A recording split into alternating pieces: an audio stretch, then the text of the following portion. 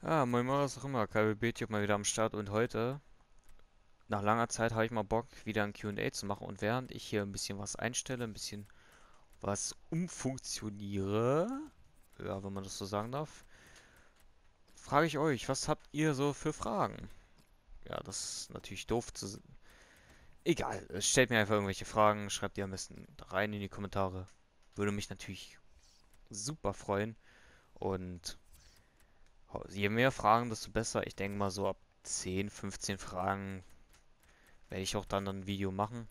Aber wie gesagt, hängt davon ab, was für Fragen da sind. Wenn natürlich Scheißfragen, dann natürlich nicht. Ist ja logisch. Das ähm, erklärt sich von selber.